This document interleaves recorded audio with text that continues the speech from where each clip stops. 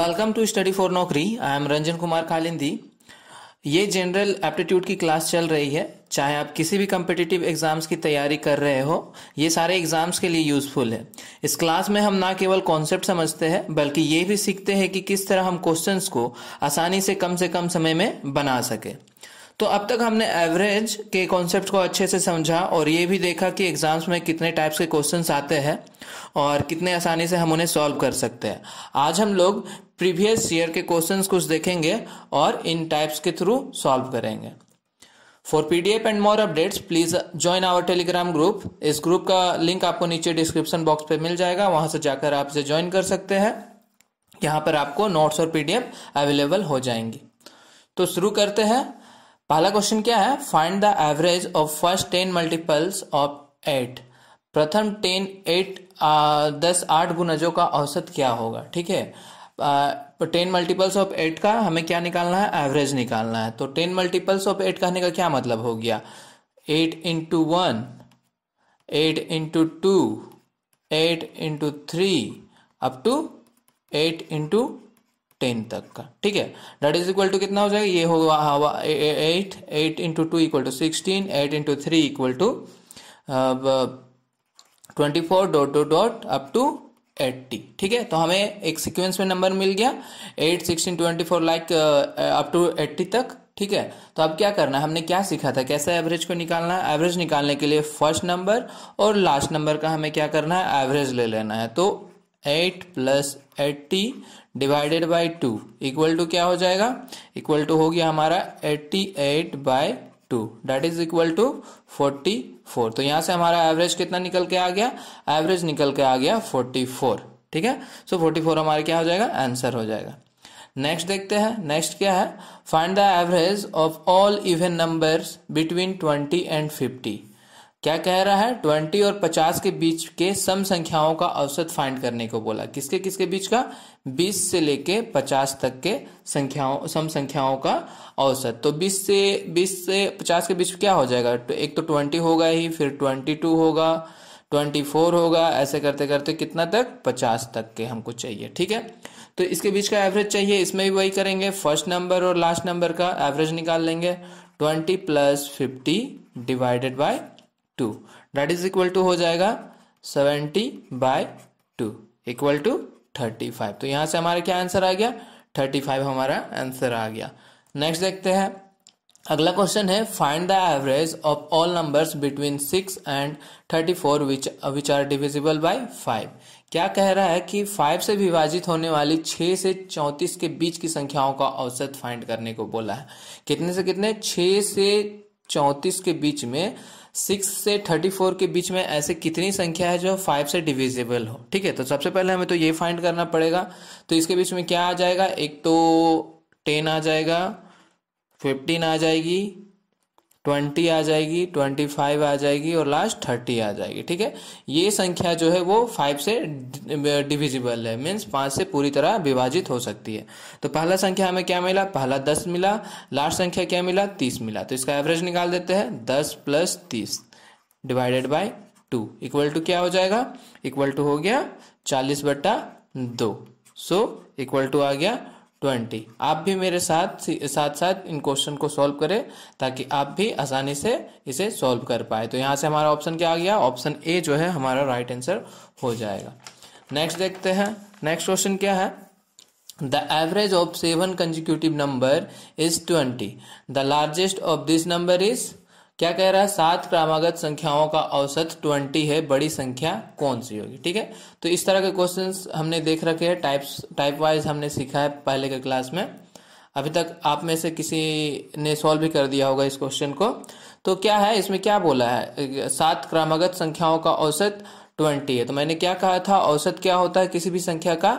बीच वाला जो वैल्यू होता है वही औसत होता है, ठीक है? तो ट्वेंटी है, हमें कितना चाहिए? सात वैल्यू चाहिए, सात क्रमागत चाहिए, सात सीरीज़ में लगाना है। तो ट्वेंटी से इधर तीन आएगा और ट्वेंटी के इधर तीन संख्या आएगी, ठीक है? तो ट्वेंटी के इधर संख्या क्या आ गई? एक आ गई हमारी ट्वेंटी वन ट्वेंटी टू और ट्वेंटी थ्री ठीक है? उसी तरह ट्वेंटी से पहले क्या आएगा? नाइनटीन एटीन और सेवनटीन। ये आएँगी। ये हमारा हो गया सात क्रमागत संख्या। और ये क्या है? ये उसका एवरेज दिया हुआ। हमेशा एवरेज क्या होता है? बीच वाला ही नंबर होता है। तो हमें क्या बोला? बड़ी संख्या कौन सी? बड़ी संख्या कौन सी? बड़ी संख्या हो गई ट्वेंटी थ्री बड़ी संख्या हो गई। तो ट्वेंटी थ्री हमारा क्या हो जाएगा? ट्वेंटी थ्री हमारा आंसर हो जाएगा। ठीक है? तो इसी तरह जल्दी से ही सॉल्व करना है क्वेश्चन को। क्योंकि एग्ज़ाम्स में हमारे पास बहुत ही कम समय होती है और क्वेश्चन बहुत ज़्यादा होता है। ठीक है?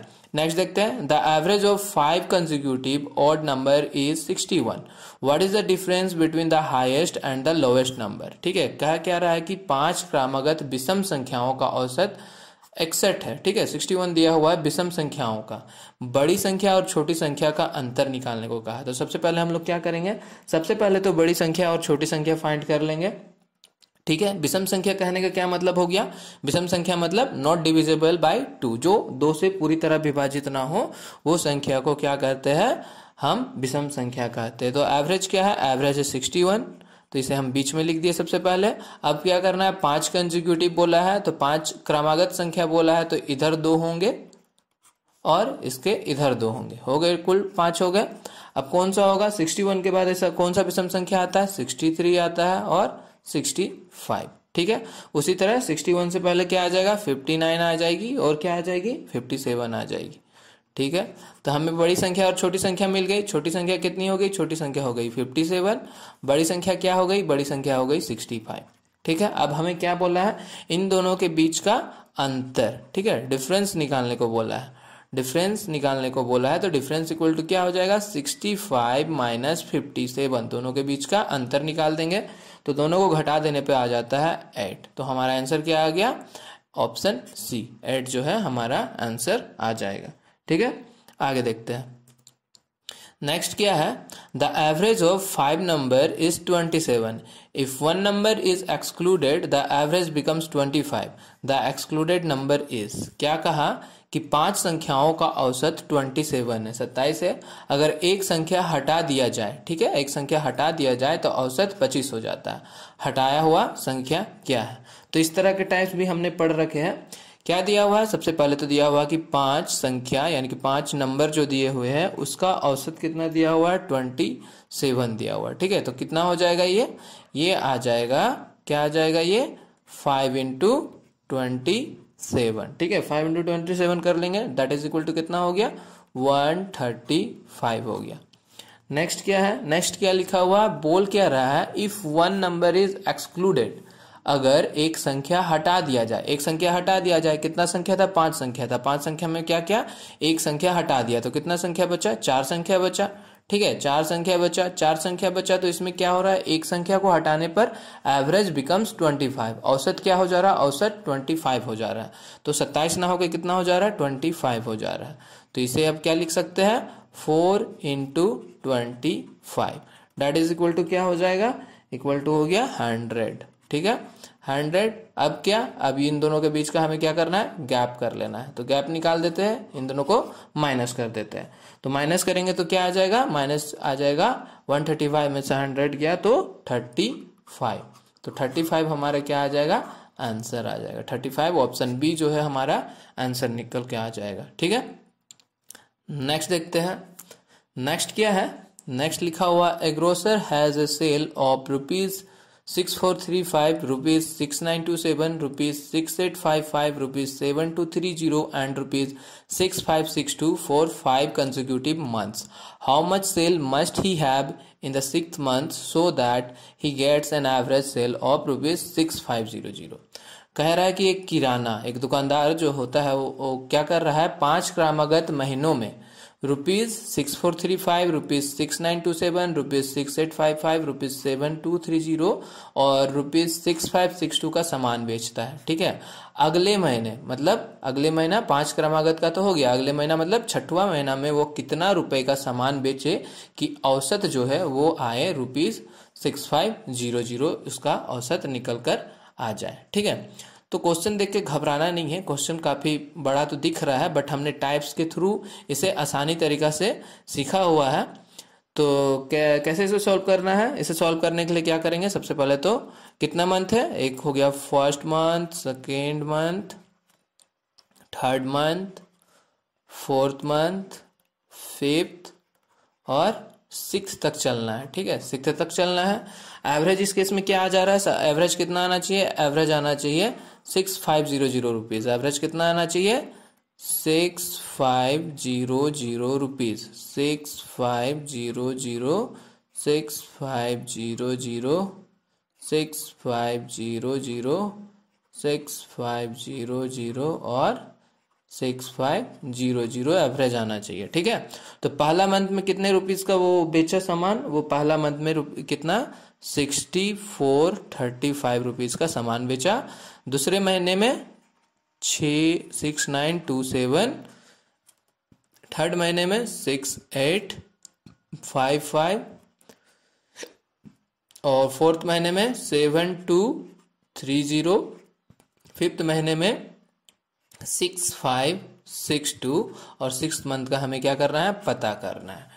ठीक है? तो इतना उसने सेल किया इस मंथ में। अब इसके बाद हम लोग क्या करते थे? इसके बाद क्या करते थे? सबको आपस में घटा देते थे। तो इसे घटाने के बाद क्या आ जा रहा है? इसे घटाने के बाद आ जा रहा है सिक्सटी फाइव ठीक है? इसे आपस में घटा देंगे तो इसे आपस में घटाने के बाद क्या आ जाएगा? ये आ जाएगा माइनस फोर टू सेवन ठीक है? माइनस फोर टू सेवन आ जाएगा। ये बड़ा संख्या है, ये छोटा संख्या है, इसलिए माइनस का साइन आएगा।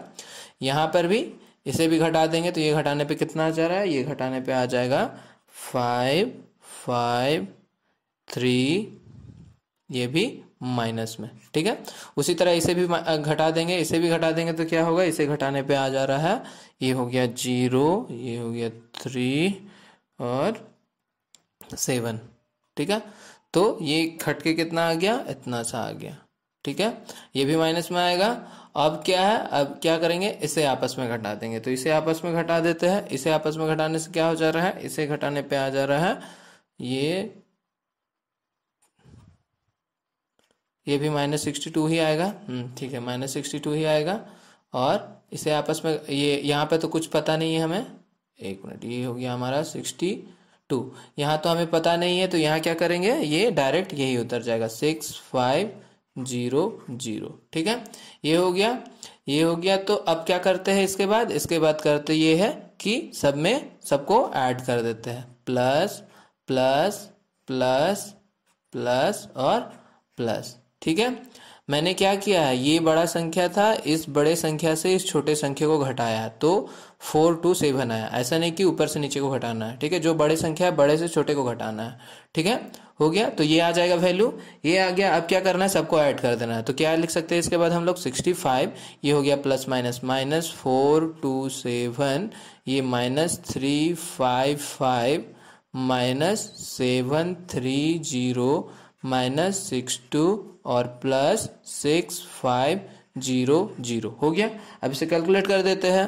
तो इक्वल टू क्या होगा? ये प्लस में है, ये प्लस में। दोनों को ऐड कर दिए, क्या हो गया? सिक्स फाइव सिक्स फाइव हो गया। अब क्या? सारा है माइनस में, ठीक है, सब ऐड हो जाएगा। तो माइनस क्या हो गया? वन फाइव सेवन फोर जो हो जाएगा। ठीक है, अब इसे घटा देते हैं, घटाने पे आ जा रहा है फोर नाइन नाइन वन ठीक है? तो ये हमारा क्या हो गया? आंसर उसे सिक्स मंथ में सिक्स मंथ में क्या करना पड़ेगा?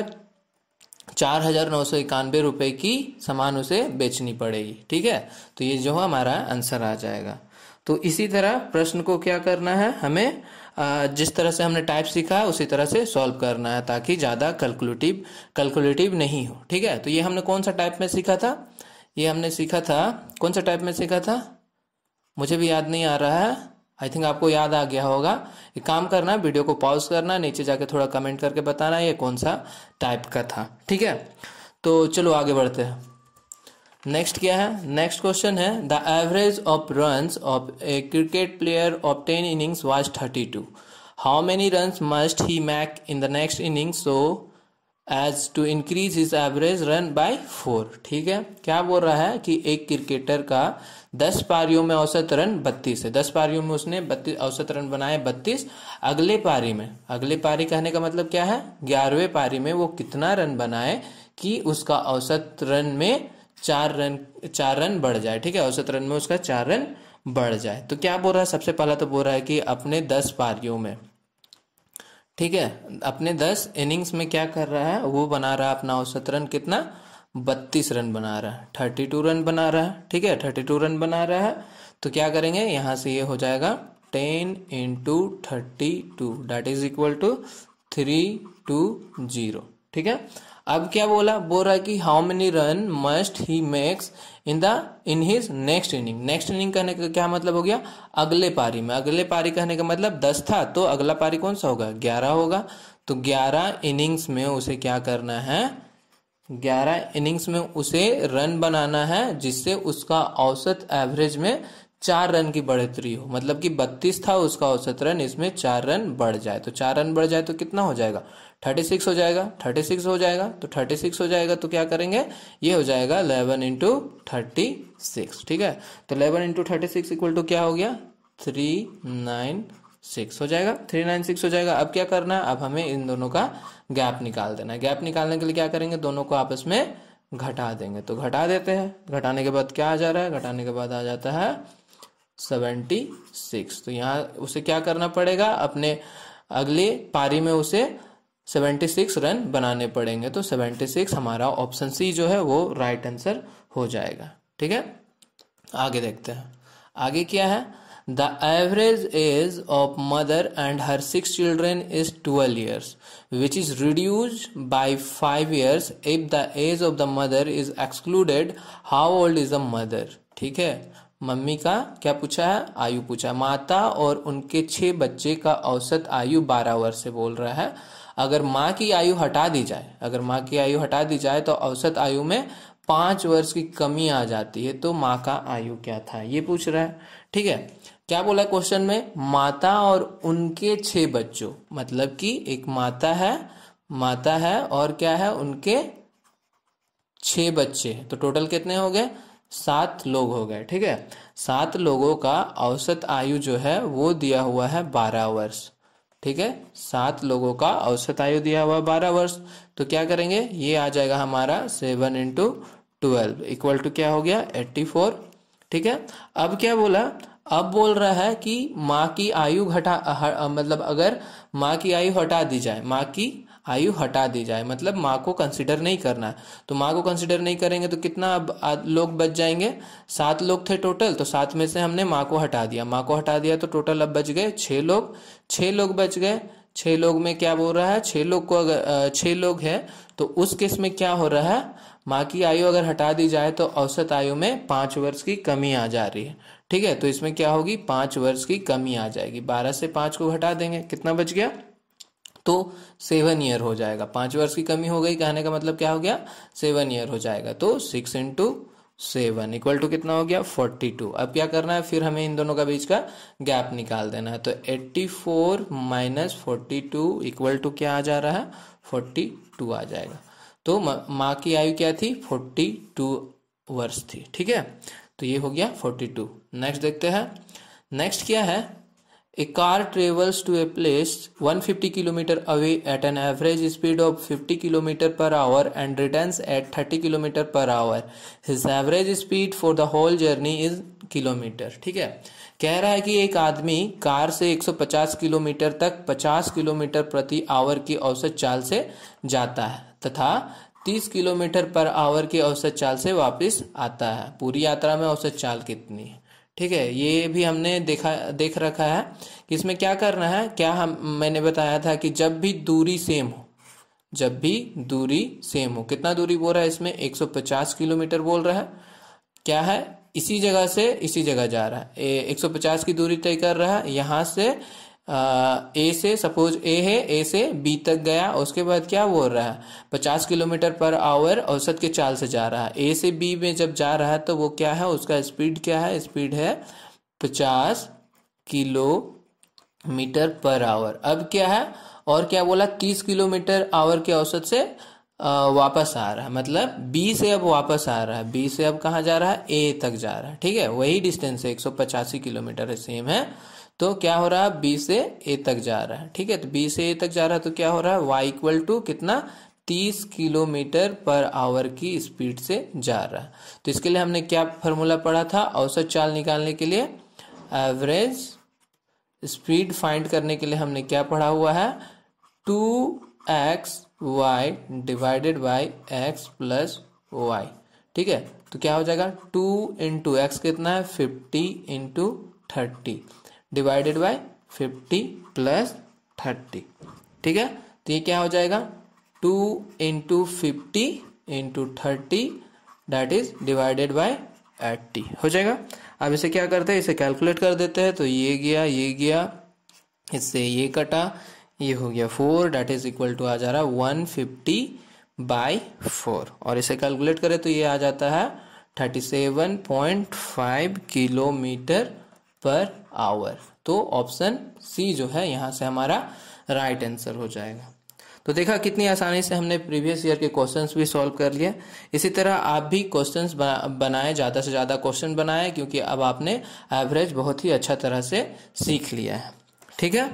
सो so, और ज़रूर बताना नीचे कमेंट करके कि ये एवरेज चैप्टर आपको कैसा लगा? आसान लगा या नहीं लगा?